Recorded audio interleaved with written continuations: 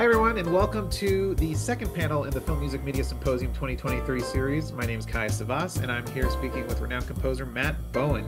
Uh, with a career in music for film and television spanning over a decade, Matt has left his musical mark on some of the most exciting projects in entertainment, including the Netflix original film Binge, the holiday special It's a Wonderful Binge, and the Amazon hit series The Boys with composer Christopher Lennertz. Uh, Matt, thank you so much for, for being here. It's so great to sit down one on one with you. I thank you so much for having me. I, I'm a huge fan of film music media, so uh, Oh, I'm happy. I'm, thanks.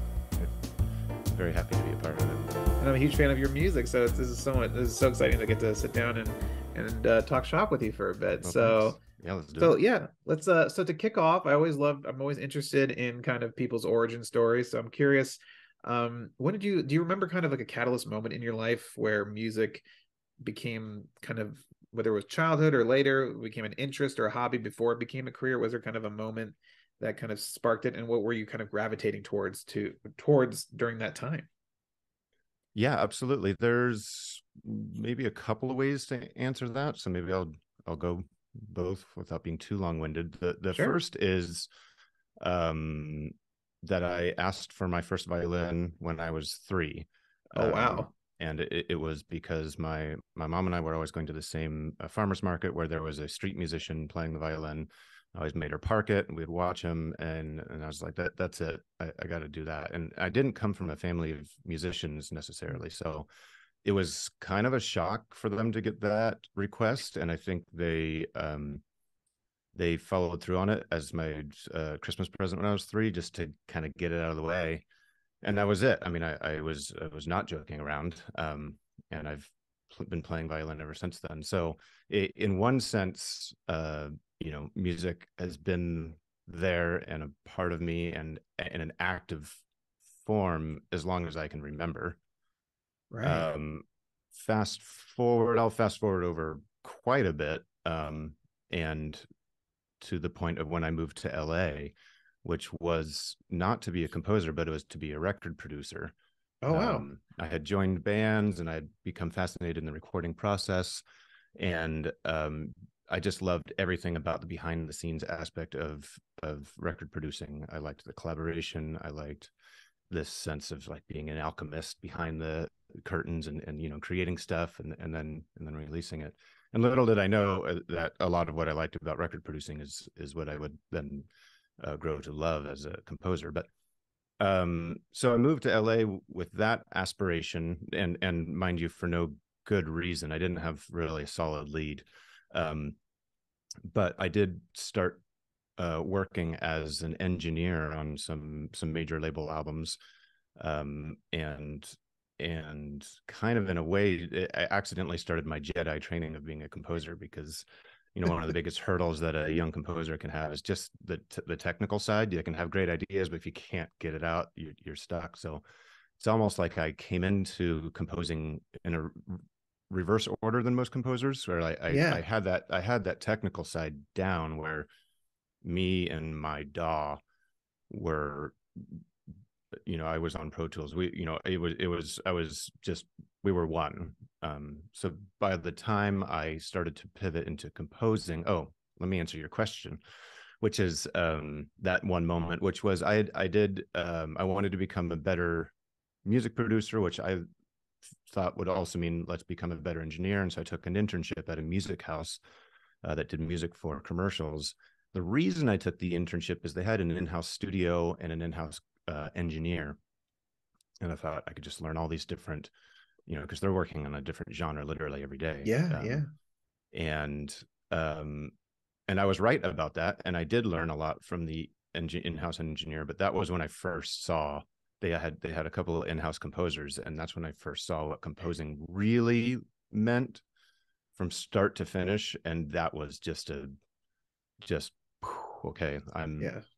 That that was that was kind of the moment when when i saw it as a profession that i wanted to work towards And uh, what were what do you remember like the first steps you took? Because I mean that must have been like a, a shift for you. I mean, you had this entire buildup of your life to this point and then all of a sudden it's like wait no like scratch that let's pivot here like was it hard to pivot or was it kind of an easy pivot yeah it's hard it's very hard to pivot i i, I yeah you don't just say oh, i'm going to be a composer and then you're a composer right, right. um so yeah there were there were many there were many um i was still working actively as an engineer for uh, I, I've I'd hooked up with a record producer named Matt Wallace, um, who was who was doing kind of just album after album and uh, and um, and so I was still he would call me and say yeah I'm available and then you know I'd disappear for a month while we went into the cave and made this you know album.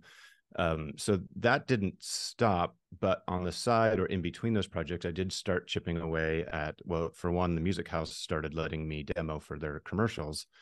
Um, and it, I remember it was, and, and, there was some, it was bad. I mean, it was, you know, it was, they were clunkers and they were very gracious uh, in their feedback. I think, you know, it's, it's, it was as a favor for me having been an intern. Um, and I remember it was a really big deal. I went in and like, you know, went in to, share with my wife. I was like, when the first day that they actually decided that what I had written was okay to show the client. I didn't win the job. right. It was just good enough to be like, yeah, we'll sh- we'll put that in our presentation. It's like, yes. Um, so so that was kind of I just started chipping away at it, and then my first opportunities to work on music teams happened in kind of a a, a rock or rock hybrid world. Um, and so I was able to have some success out of the gates in in that sort of genre where um, that might be a genre that's you know uh, especially for a for a budding composer might be overwhelming but obviously yeah, I, yeah. I was very comfortable with with the production aspect of that um, and so that was and, and that's just blind luck i mean i didn't plan that that was just the right. opportunity that showed up um, and so that's how I, yeah that's how the pivot started and that's when i kind of started to get into it and then those those opportunities started to split off into more diverse um tasks and yeah and and then there was there was i, I remember it like it was yesterday when when that record producer called and said i got a new job and i was able to say i can't like no i i have enough composing work Wow. Um, I have enough composing work where I have to uh, choose, and uh, you know, I'm, I'm choosing the composing work. So that's but amazing. yeah, and to, long, long story short, it was a it, the the pivot was gradual. It wasn't a yeah, yeah, it wasn't yeah. a hard right turn. Mentally, that's... it was a hard right turn. Practically, it was very gradual. That's a that's an awesome story. I mean, I love how everyone yeah everyone's story is so unique. I've never I, I asked that question a lot and never get the same answer. It's always no, never always. get the same answer. I know. I for a while I'll be like, I wanted to say, oh, my answer is different. And I was like, yeah, everyone's answer is different. Yeah. It's... I think uh, when I talked to Austin, Austin Wintory, he, he described it best, the best. It's like you're literally just kind of chipping away at like a, a wall and you finally make a crack. But the second you fill it, get through the crack of the wall, it just seals back up. So you can, no one can follow like the same path. It's just like you have to totally find your own path somehow. But it's yeah, I love that image. Yeah, for sure. Well, let's uh let's dive into I want to talk about one of your latest projects, uh the the holiday comedy It's a Wonderful Binge, which is available on Hulu and uh, has such a wonderful score. Uh this past month uh that you took us behind the scenes on Film Music Media uh with your awesome director taking us to to Nate's studio uh for the Barr Fox Wurlitzer organ and how you utilize that for the score.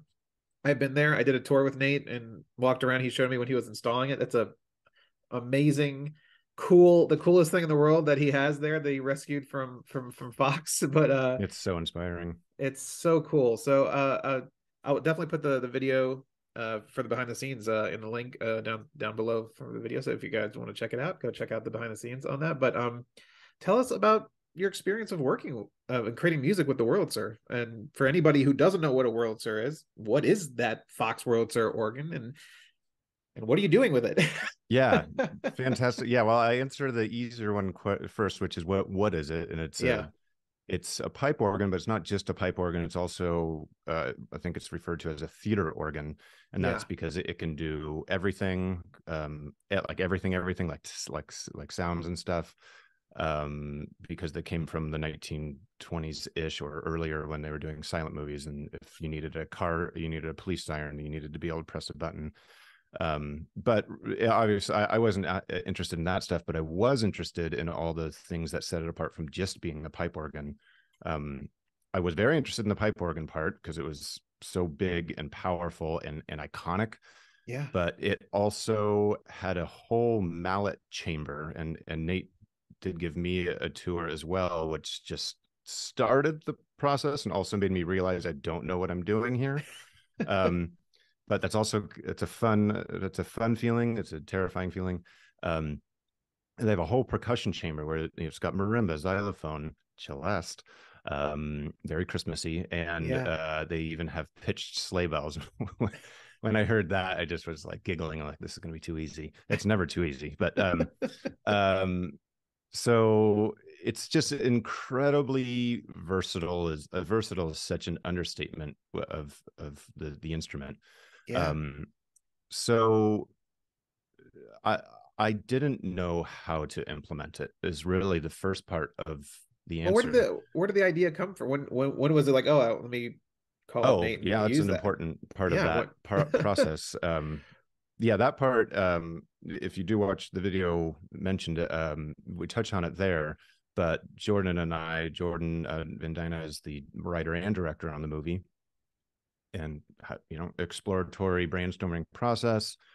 You know, this is an R-rated raunchy comedy, but it's holiday. What if the score was just ignored all of the comedy and all ignored all the raunchy? And what if this was, you know, if you if you heard only the score, would it be to you know home alone five or six you know one of those home alones you know maybe that has never been made yet but this, right. this is the score for it um and and we just loved that idea and then i had just recently seen one of the videos that nate had posted um where he was listing off kind of all the iconic scores that that you know sound of music and whatever that, that, this, that this thing had been a part of. And um, he said one of the last scores it was a part of was was home alone and so i mentioned that to jordan as a joke and as thing you know as things go you know it's like oh that's funny. Yeah. No no actually that would be amazing. What if we used the, that organ um, for our super earnest wholesome score? Um, and, and and so I, I i called up nate and and you know it it did it worked out. Yeah. um so yeah that that was kind of and i do like to you know any any new project i do like to start off with some element of unfamiliarity. Um it just keeps you fresh it keeps you you know you want to keep reinventing i don't know reinventing yourself but but like uh, i mean you're you're, you're chasing you know you you want to stimulate yourself creati- creatively as well. So right. and every project is you know and, and you're going with a, a, director who wants to do something original and unique and i'm sure as a composer you definitely want to evolve not i guess yeah evolve or evolve your sound but also just add to your to your repertoire and you just add to your uh to your yeah absolutely. it, yeah and also yeah you you get you you learn how to make some things sound good in certain ways and that right. can become a crutch um and, and you don't uh, you don't want you know it's like they they want something fresh. They they hired me for something fresh that's unique to this movie. So um i like you know whether it's buying a new instrument or or or thinking you know about a different way of handling the the harmonic language or of that particular project or whatever. So in, in this case it was a gigantic one because it was this instrument that um, to right off the bat, I had I had plenty of unfamiliarity to deal with. Um, and so, uh, as I mentioned, Nate did give me a, a, quick tour, and they happened to have one of their go-to session musicians there at the time. Yeah, and he gave me a quick tour uh, while playing stuff. Um, but even then, I did book an exploratory session. I just needed to because there's there's what can the what do we know the organ can do and even then i wanted to see i was like yeah but how how can i use it maybe right. differently than it's ever been used um and his his uh one of in, in-house uh, engineers harry Rosilio, just dove in the deep end with me and it was awesome he you know he he had mic'd the the percussion chamber which as i mentioned is that's that's like all your uh, mallets. Um, yeah, yeah. Know, I'm, after the celeste and pitched um, pitched sleigh bells in particular. He mic'd it. He once I started telling him what I was calling going after, and I wanted it more intimate. He mic'd it in a way that he had never mic'd it before, just for this project. And he's like, "I'm going to oh, try wow. something like that's great. This is what we're here to do: is try stuff. This is you know exploratory session." So he did it. Who knew if it, now? Granted, he had plenty of other. He had he had the room mics that he would always use anyway. He had the setup, so it's not like we were uh, we had no fail safes here. Um, but he was a part of the you know creative process. Everyone was everyone's part of you know. I love it when when all the any and all team members. Um, I, I I don't. It's not like I hired you to fit inside this tiny little box. It's like yeah, bring yeah. your bring your creativity. So um, that exploratory session went great. And in doing so, we were able to keep a lot of material for, I would say, a quarter of the score. Wow. Um, so that, and then I, and then I came, and because we were just tracking to sketches, um, some of which Jordan had heard, some of which he hadn't. And so not everything we tracked, you know, got used, but, uh, you know, even finding out that something doesn't work is informative. Yeah. Yeah. So, um, the, we had the exploratory session and then wrote the remainder of the score and then had a much more traditional like okay we're going to have sheet music prepared uh, we have all these cues where the the sketches are approved and we're just going to go in and bang them out um, sort yeah. of thing so we did have wow. it and then we had that follow-up session that's amazing. So, t- talk to me about where did you get the inspiration for? Uh, we talked about now, kind of like the the you know tech the technical side of how you approach the score using the Wurlitzer. Um, but where'd you get? Let's talk about more just uh, the score itself. So, where did you get the inspiration for the main theme of, of "It's a Wonderful Binge"? What was kind of the the source of that first idea to kind of spark to? What did you pull from to create that theme? I guess. Yeah, I love that question, and that kind of stems also from that brainstorming talk with Jordan, where we yeah. we established what world we wanted to live in, and it was earnest, and it was classic. And you know, you look at, at definitely uh, Elf is a huge source of inspiration here. That's just oh, I just love that score so deeply. Oh God, yeah, um, and and, so I, and I'm a terrible singer, so I won't do it. But I could right now sing you that the main. You know, I'll whistle it. Like bam, that's the main theme, and it's beautiful and it's sweeping and it can be comedic and whatever. And like oh, uh, and not that that's you know I reduced the score to that that, but you know, Home Alone similarly, they've they've got this big sweeping theme and it's right in your face. It's not a yeah. texture, it's not tucked in. Um, and you and it's not that's kind of like the classic more more classic way of scoring and you don't always see that in scores these days um, but I, all, I yeah. really wanted to, I really wanted to do that, and I kind of had never done it so prominently. Um, so I was really looking forward to that experience too. And I, I voiced that all to Jordan, and he was in.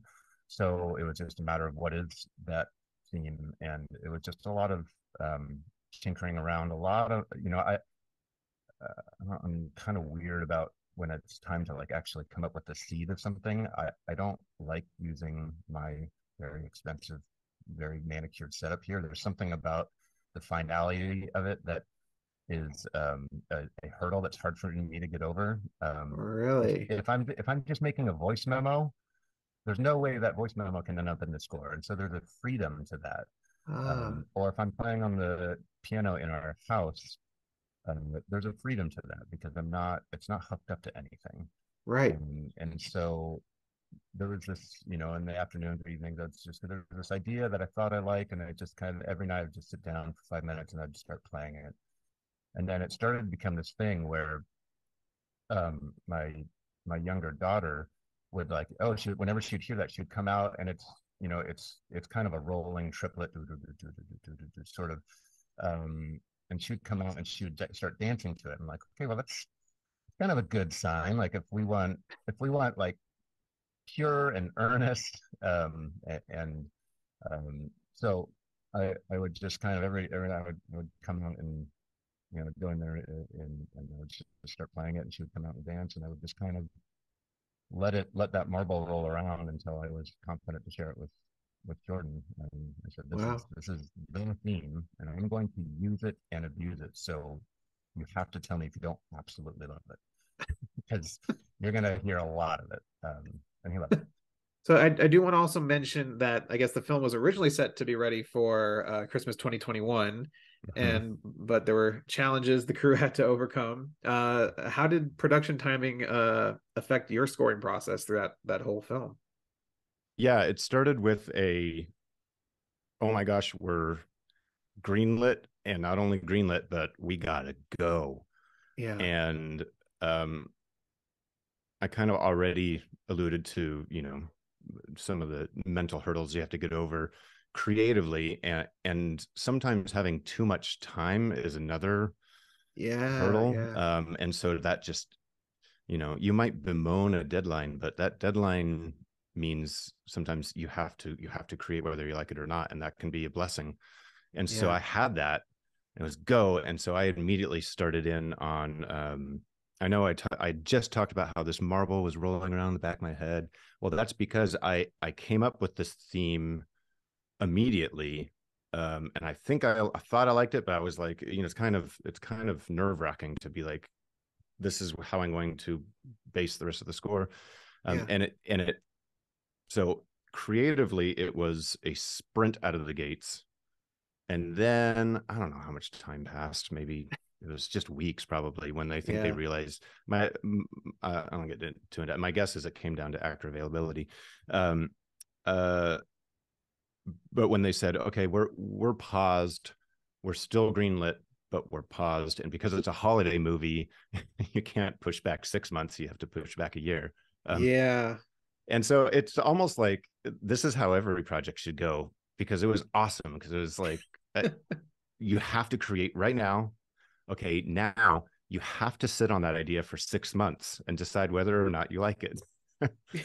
um, so that that was the um, I I actually am quite grateful for how the the schedule turned out. Um, yeah. So yeah, I mean, more time is always yeah. You know, the deadlines do help, but like I just interviewed uh, Son Lux about everything everywhere, and they talked about how I, they said they probably didn't think they'd be able to, to do what they did if the pandemic didn't come in and they shut down, they had all that time to deal with that score. That score was just a beast that they had to put together. I, but I cannot imagine putting that score together. I think a beast, beast is the great way. I mean, amazing, beautiful, of course, too. But yeah. beast is. I mean, it's so, a yeah. It, it, it, that's a yeah, that's incredible. Yeah. So you got you got that extra time. Were there any? uh Were you able to during that time? Were you able to incorporate any fun Easter eggs into the to the film or the score? um, I'm trying to think um I mean, we always think we're being so crafty, but it's usually just to spark our own creativity. Yeah. Um, you know, outside of the oh, there well, there was a um there was a moment where the the this this is this is the business. Um, there was a moment where Jordan said, "I want this to be an Ave Maria moment," because we were what we were doing was a, a um, is a very tight parallel to It's a Wonderful Life. Uh, so there was the bridge moment where you know you kind of your your life flashes before your eyes. Yeah, and it's very introspective. It's very epic. It's very spiritual, um, which is where the Ave Maria um, idea came from, and that was Jordan's idea. Um, uh, and then I thought, well, okay, I I definitely want to tie this into our score but I I um but so I'll, I'll, write my own operatic piece and I brought in an opera singer um and I had just mocked it up with fake opera which is just oohs and ahs um and she was singing it and it was it was I thought it was sounding great but she mentioned again this is the beauty of collaborating with talented people she mentioned you know I could really dig into this a lot better if there were consonants and i and i thought i was like you know i really don't want to write lyrics in this moment like i don't want that i don't want to take anybody out of the scene yeah. and so uh you know we're mid session so clock's ticking um so i had this idea to like well what if what if we just you know inspired by ave maria what if we just did something in latin and so bring up google translate and right there on the spot I just typed in you know because we're heavily referencing it's a wonderful life the movie's called it's a wonderful binge uh, type in "It's a Wonderful Life," um, and uh, up pops Sue Sua Vita Mirabilis. Uh, I'm probably hacking that up, but it doesn't really matter because what they were were beautiful consonants for her to sing, and so um, so they're and and they're in that scene, you know, as as he's um, having this blood, you know, this internal crisis. Um, she's just just beautifully singing Sua Vita Mirabilis. I'm not going to try to sing it, but uh, Yeah. so that was kind of fun. If if anybody that's that's a bit of a stretch of an Easter egg, but if anybody knows their Latin, um, they'll be like, "Hey, they just said it's a wonderful life." Um, might be a stretch, but But no, it's a good. That's that's one that's that's just usually for you to keep. that's you Yeah. know, yeah, yeah, And most like ninety nine point nine percent probably won't catch it. but- right, yes. I, I would be thrilled to hear that one person caught it. Yeah, that one person. Come Uh, on, let us know. comment below if you caught it. Yes, please do. Um, I want to now jump into talk to you about your work with uh, Chris Lennertz, who uh, mutual friend of ours, amazing, uh, amazing guy, amazing composer. Um, you two have collaborated on a number of projects like The Boys, The Boys Presents Diabolical, and the new spinoff and The Boys Universe Gen uh, Gen V, which you're working on right now. Um, so how did? But let's go back to the beginning. How did your relationship with uh, Christopher come to be, and what is the working dynamic between the two of you? Uh, yeah, two two parter, very different. Um, I mean, how it came to be was uh, I was just bl- another blind luck part of my career development. Put in touch with him for a job. I should know this off the top of my head. I want to say 15 years ago. Um, it was a while ago. Yeah, it's a Um, while. and he you know he just needed he needed some help he was looking he was assembling a music team as we do Yeah.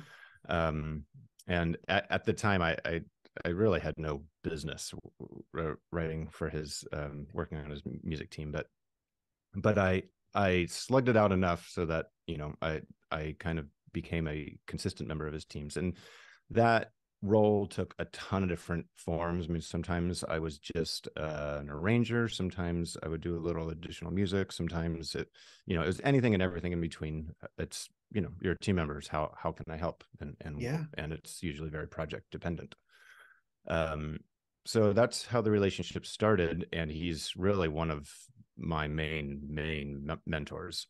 Um so you know our relationship is very much uh mentor mentee um but yeah in, in recent years it's it's become you know a little you know at times a little more collaboration and then at times more collaboration and then um um yeah so we, we have started our, i think our, our first time co-scoring was a netflix series called best worst weekend ever Oh yeah, yeah, um, yeah. So that was that was maybe I'm just going to throw out four ish, four to five years ago. Um, and so that, that was our first time, you know, working together, and it, it's really funny to co-score with somebody who's been such a tremendous mentor because uh, I'll be like, yeah. Do you feel like, like, like, I'll- I- can, I'll write to speak up something- more? yeah, or I'll like I'll write something and be like, hey man, uh, this is posted. Do you want to check it out? And he's like, this is your show too.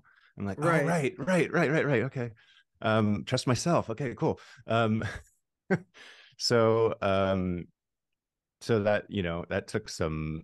Uh, I had to unlearn that a little bit. Um, and then and then just how you know you asked our, our working dynamic is um uh, just very practically i think um our music production sensibilities specifically are very similar um Mm. and there's something about that being similar that allows us to get on the pa- same page really quickly. There you know there's a lot of shorthand um creatively where it's it, it's all very quick and easy. You know i i i would say we're pretty different writers um which is awesome. Yeah. uh i you mean can complement each other. yeah yeah. um absolutely.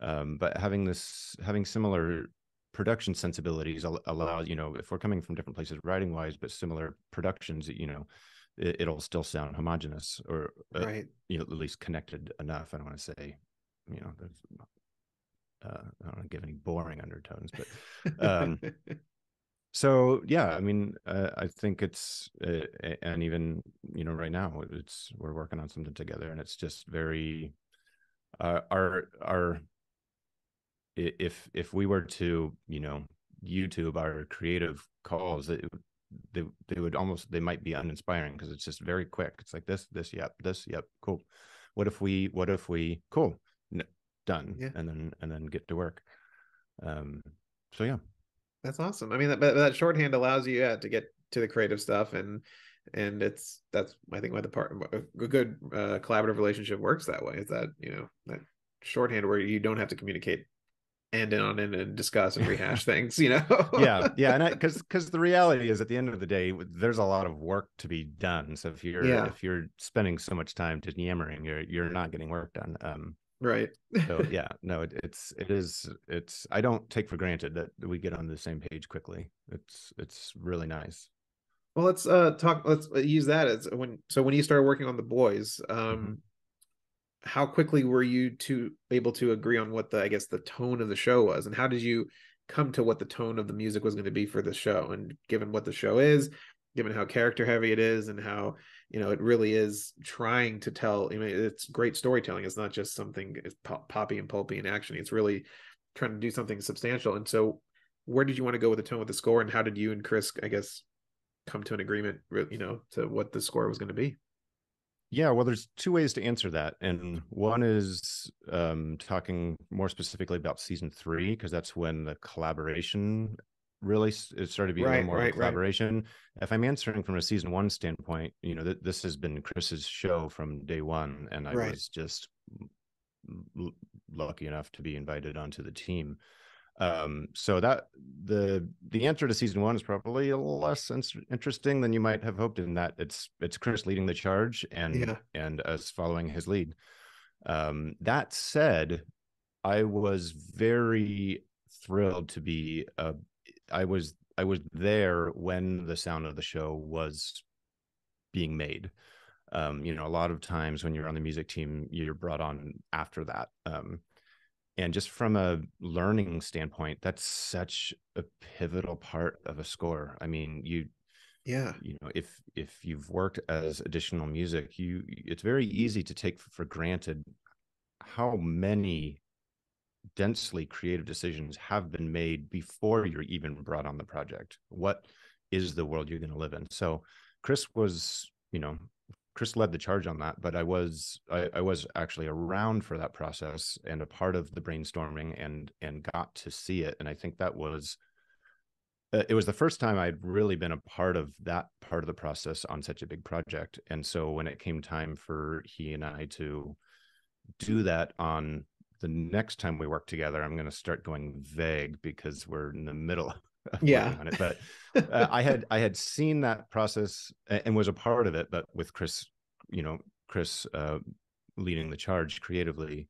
Um, Mm. and so I kind of knew what what needed to be done. Just you know, how do you do it is the question. Um, so yeah, um, but yeah, this this has been this has been you know following Chris's lead all the way up through uh, into season three, and then it was season three when started to kind of cross over into a little bit more of a collaborative role Right. and there was uh, a new th- you know for the most part you get to season three a- and you, you have a lot of creative work to do but a lot of your creative decisions have been made based on what you've done the first two seasons but season three did need i guess we're far enough we're plenty far enough removed from the show to say there was a new element um new component that's unique to season three called v24 and it needed its own theme or its own sound um and so because i was transitioning into a you know a somewhat more collaborative role that chris did you know he said i want to i want to bang this idea around with you and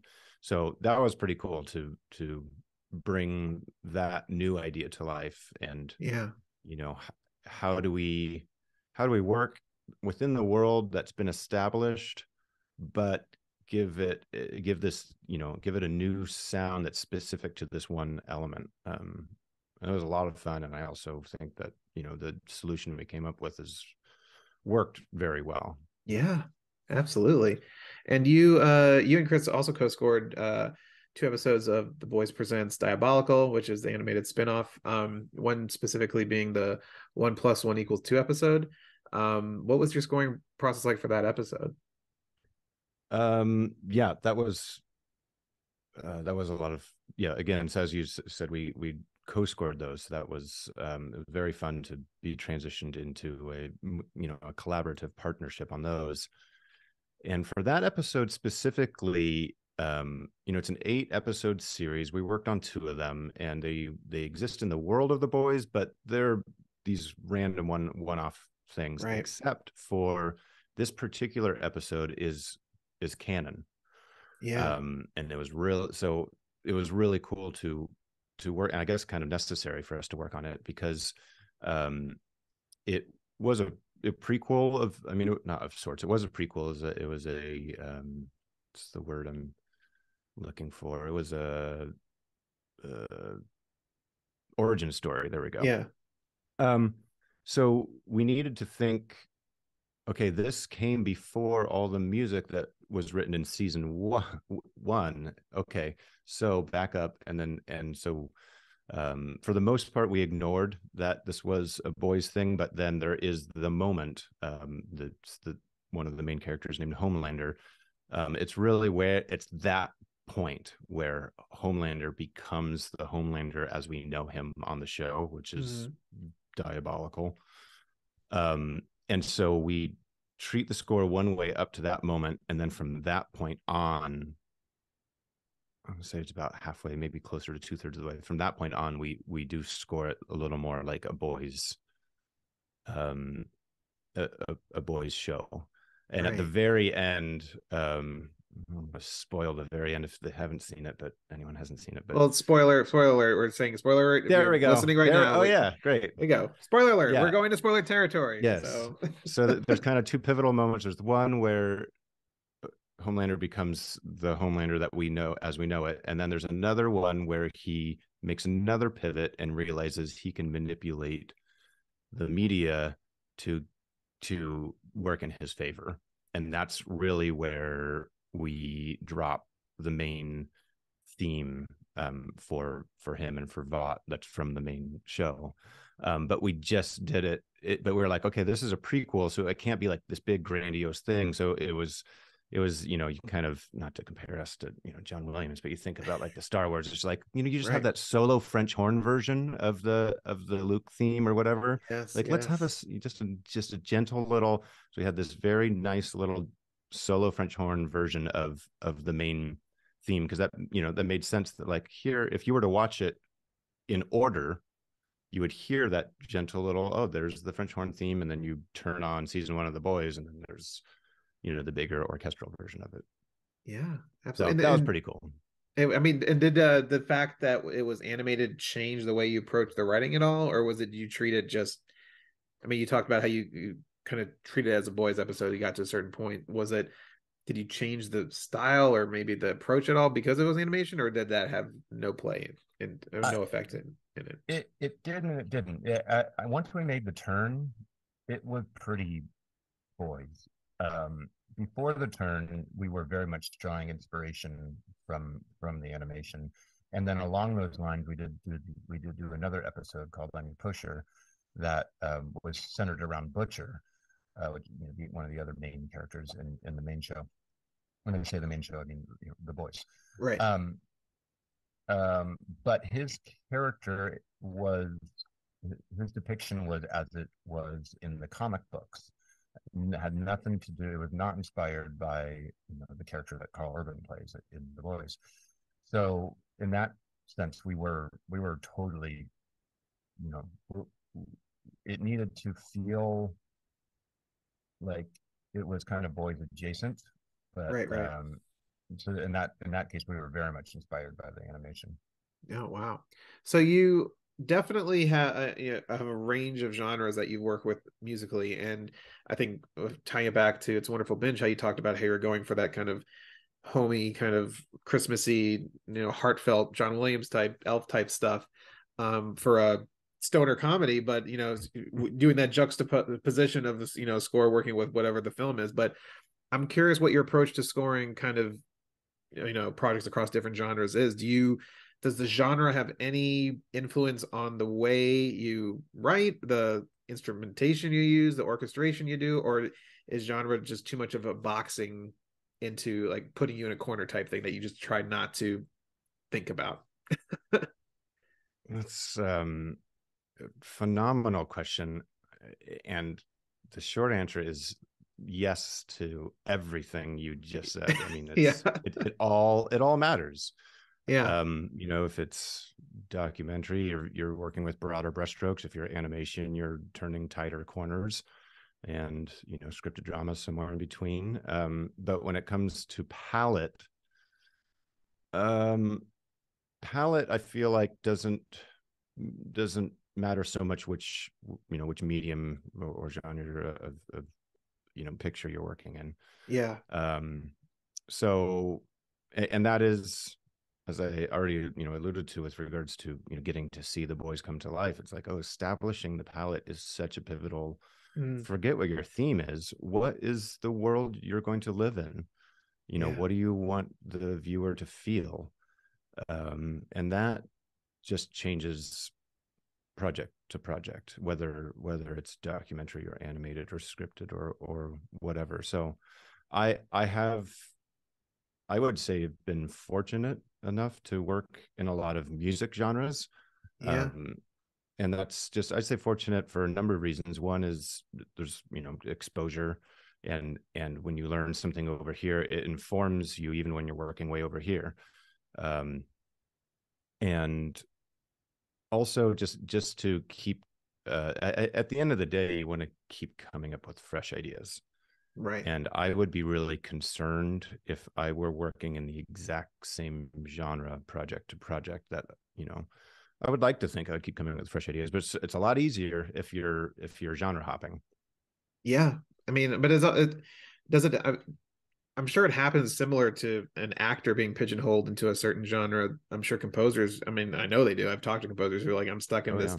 family friendly stretch that I want to get out of, or I'm stuck in this horror stretch I want to get out of. Like, do you make it kind of in your career now at this point? Do you consciously try to do that genre hop so that you can keep it fresh? And if you have that, you know, opportunity and that, you know, you're lucky to be able to have those choices.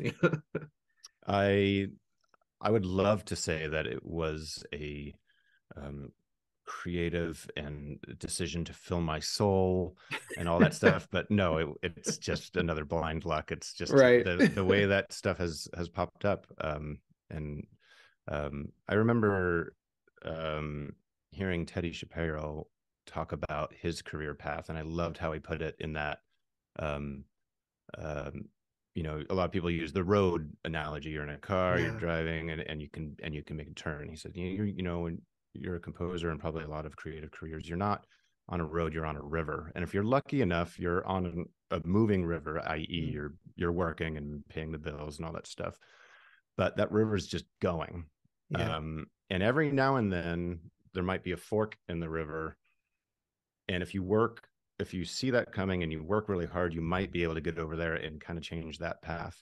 And I just thought that was such a good image for it's like, yeah, no, that's that's I'm I'm just I'm taking the river wherever it's taking me. Right. Um, and should an opportunity show up over there that I'm interested in in, in a career pivot sort of way, maybe maybe I could go for it. So no, that's what. Yeah, no, Teddy's fantastic, and I think that's he, that's such a wonderfully put to. I mean, what he did with Severance, you know, is just like oh, mind blowing. like... Forget it. Oh, that's a, but that's that's a score yeah. that makes you want to quit.